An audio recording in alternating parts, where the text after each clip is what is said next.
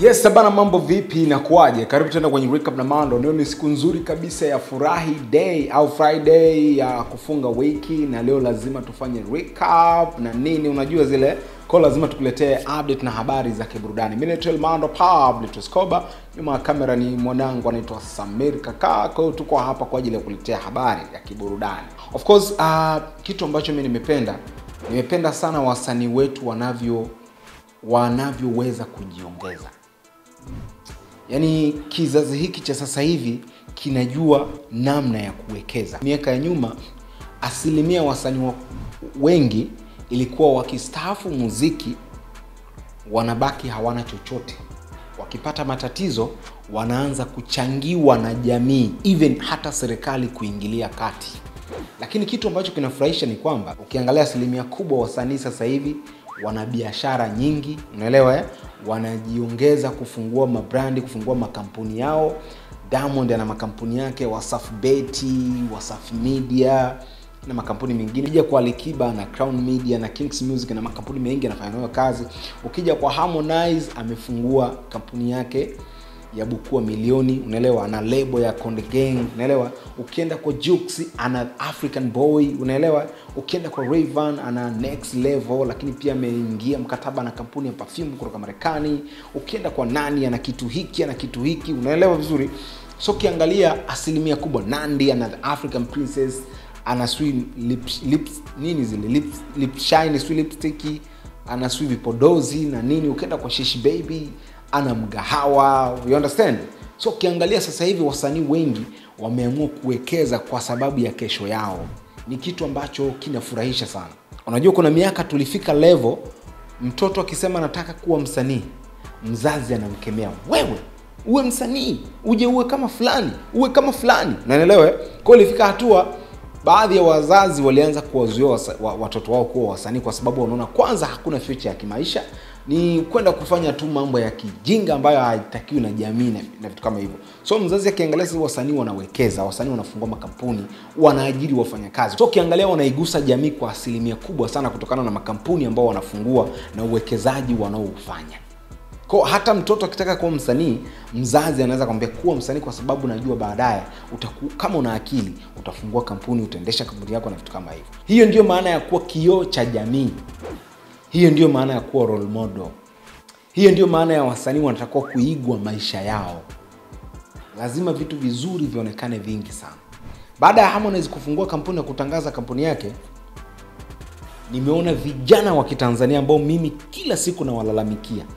Vijana wa kitanzania um, baadhi niseme baadhi majority wachache ndo wanaona wako smart majority ambao mi nawalalamikia wamekuja na konsaini mbili ambazo hazina mbele wala hazina nyuma.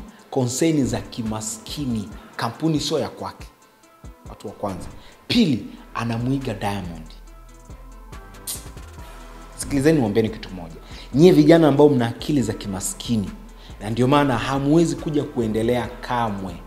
Watu ambao wana mindset ya kwamba kampuni sio ya harmonize hawawezi kuja kuendelea kamwe sikia kampuni zote duniani na hata ukiangalia manchester juzi wanauzwa kwa Ratcliffe amechukua asilimia 25 taasisi kama manchester.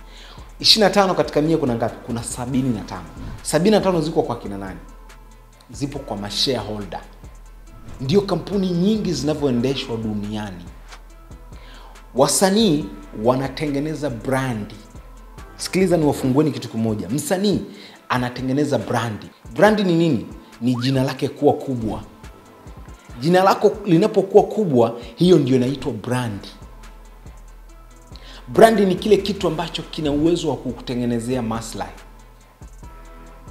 Kwa sababu wewe unaweza kafa lakini brandi yako ikabaki. Sasa kile kinachobaki jina lako linavyobaki kuwa kubwa linavyoendelea kumake money hiyo ndio unaita brandi. Msanii anatengeneza brandi ili aiuze aingize kipato. Kwa sababu unapokuwa na jina kubwa haliingizi kipato hiyo ni hasara na wewe utaonekana mjinga maskini. Diamond alishawahi kufungua diamond karanga. Jina lake liliuza zile karanga which is hazikuwa za kwake. Diamond alishawai kufungua chibu perfume. Jina lake la chibu liliuza ile perfume lakini kampuni sio yake mwekezaji sio yeye. Yeye ameuza jina. Ameuza jina. Tunajua wasaf media wana shareholder kina kusaga kina nani. Diamond kafuatwa kwa sababu ya brandi yake jina lake kubwa. Wasafi beti sio ya miliki ya diamond 100 yeye ni shareholder. Ameuza neno wasafi brandi ya wasafi. Watu wakafungua kampuni kupitia brandi ya wasafi watu wanatengeneza pesa kupitia brand yake which is na yeye anaingiza hela. Alikiba ameuza ufalme crown king. Huwezi kuwa king bila kuwa na crown. Ile kidude cha juu. Ile ndo kinaitwa crown. Crown. Kile kidude kinavalishwa malikia wanavalishwa hivi. Hiyo inaitwa crown. Ndio maana ambao huwezi kuwa mfalme bila kuwa crown. Ko alikiba ametumia ile ile crown ya juu kuitengeneza media ko wawekezaji wakaona tukitumia jina la alikiba na brandi yake ya mfalme tunafungua tunatengeneza pesa. So navyoniambia mimi kampuni sio ya harmonize na kuona we mindset yako ni ya kimaskini na ya kijinga. Watu wote wakubwa duniani kina jz leo jz unaambiwa ana kwenye apple. Na ndo maana super bowl zote jz anaziandaa kwa sababu ana kwenye apple kampuni ya apple. Naenda akafuatilia hicho sio mmiliki ana share. Ukiangalia rock nation kampuni ya jz ana mashareholders wengi. Sio yeye ambaye yeye ametumia brand yake kuambia wawekezaji njoni mi na brandi kubwa tutauza kitu fulani. Ukiangalia makampuni kama Yeez ya Kanye West kulikuwa na wawekezaji wameweka hela wametumia brandi ya Yeez wakaita Yeez Yeez ya Kanye West wakafungua brandi ya viatu Unanielewa? eh? Ukiangalia BET Grammy mpaka leo Grammy, I think BET au Grammy inataka kuuzwa kwa wawekezaji wengine. Unaelewa? Ukifungua makampuni makubwa kama Adidas, Puma zina mashareholder, hazina mmiliki mmoja. Kuwa na mmiliki mmoja, unapokufa kampuni na kufa. Kuna madhara mengi kuwa na kampuni ya mtu mmoja. Kwa watu wote wenye akili wanakuwa na share kwenye kampuni fulani. Unapokuwa na share, kampuni itaendelea kuresist kampuni itaendelea kuishi. So harmonize ameuza hata kama siwezi sija verify kwamba kampuni sio harmonize ni miliki 100% na wajibu tu watu wenye mindset zile. Inawezekana kampuni ni harmonize 100% au isiwezekane sio ya kwake. Au isiwezekane ni ya kwake. Inawezekana watu wameshea pale wameweka hela kwake. Kwa nini? Matajiri wenye hela zao wanatafuta watu wenye brandi kubwa ile brandi ndiyo biashara. Kwao wakamtafuta harmonize wakatumia jina la harmonize bwana harmonize wewe fungua kampuni ya betting inaitwa bukua milioni weka tukutumie wewe kama mmiliki kwa sababu wewe watu wameshajenga trust na wewe wanakuamini. Tutauza tutatengeneza pesa kupitia wewe. Na wewe kwa sababu na upinzani na baadhi ya wasanii wakubwa tutafanya biashara kwa sababu kuna competition hiyo ndiyo maana ya kuwa na brandi. Hiyo ndiyo maana ya kuuza brandi. Hiyo ndiyo maana brandi kukutengenezea pesa. Kama brandi yako haikuingizii pesa you are nothing. Hakuna chochote. Lazima utengeneze mazingira brandi yako kutengenezee hela. Aidha kuingia endorsement na makampuni aidha kuingia shareholder na makampuni aidha kufungua kampuni yako mwenyewe. Ndio kitu ambacho harmonize amewini na kuja kwa wale wanaosema anamwiga diamond. Anamwiga diamond kwenye nini? Mi ngoja niwambieni akili za wafanyabiashara. Wafanyabiashara wote wanafungua biashara ambayo ina maslahi. Wakiona biashara na maslahi unaweza ukakuta kuna biashara karibia mia zinafunguliwa pale kwa sababu kuna maslahi. Na ndio maana ukiangalia online media za tanzania nyingi zinafanya burudani kwa sababu kwenye content za burudani kuna maslahi burudani na michezo. Kuna maslahi. Watu wanapenda kufuatilia mpira. Naelewa na ndio maana wamiliki wengi mpaka wanasiasa wanaingia kwenye mpira kwa sababu kuna maslahi. Kwao baada ya gsm kuichukua yanga amemwiga Mo Dewji. Ama? Au kamwiga bakresa. Ama? Watu wanawekeza kwenye sehemu ambayo kuna maslahi kuna hela. Betting kama inatengeneza hela ndio maana harmonize ka- kafungua beti kule. Diamond sio mtu wa kwanza kufungua betting diamond sio mtu wa kwanza. Kwa nini useme anamwiga diamond? Hizo ndo mindset za kimaskini. Au kwa sababu diamond ni msanii ana, ana, ana, ana, ana betting. Yes amewaza kibiashara. Kwa sababu biashara zinataka competition.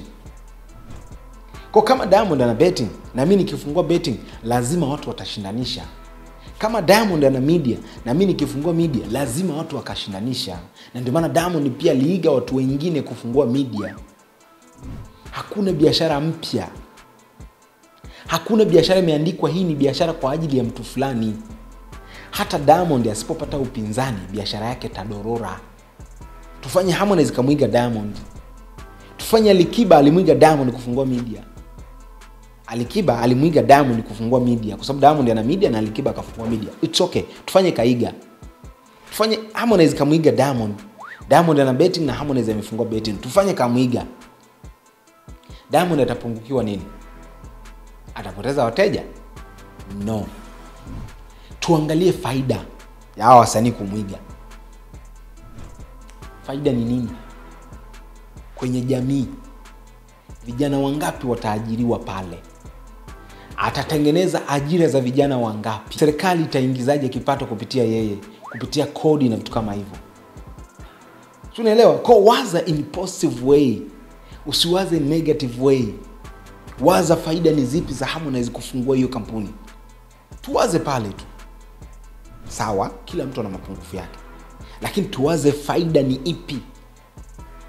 Tuziwaze yani tusianze kuponda kila kitu kinachofanyika tanzania vijana wengi asilimia kubwa majority ni watu wa kuponda. Yaani mtu akifanya kitu fulani anapondwa. Sio ya kwake sio ya kwake inakufaidisha nini? Sio yake ndio. Ndio tuseme sio yake. Wewe umefaidika na nini isipokuwa ya kwake? Sawa tuseme kampuni sio ya harmonize. Tufanye crown media sio ya alikiba. So wasafi media sio ya diamond. So wasafi beti sio ya diamond. So bukua milioni sio ya harmonize. So nini unafaidika wewe? Kitu gani unafaidika nacho? Yaani vijana wa kitanzania wamekuwa ni watu wa kulialia watu wa kucrash vitu vya wenzao badala kuwa inspired. Sisi ndio watu wa kulalamika wasanii wetu watengenezi pesa wasanii wetu hawana hela wasanii wetu maskini wana fake life wana fake maisha. Tuwasapoti basi waache kufake sisi tukiwasapoti wasanii wetu wataacha kufake maisha. Wataishi maisha ya ukweli kwa sababu nyii mnawasapoti mnanunua nyimbo zao wanapata hela. Mnawasapoti kwenye biashara zao wanapata hela. Hawawezi kufake maisha tena.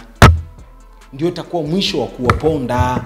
Sasa sisi kila kitu nataka tuponde badala ya kusifia tutasifia kipi?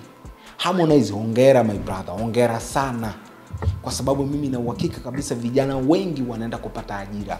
Ndugu zetu wengi walioko mtaani wanaenda kupata ajira. Sio kwa faida yako peke yako. Hiyo kampuni sio kwa faida ya harmonize peke yake. Faida ya serikali faida ya jamii yetu faida yako pia.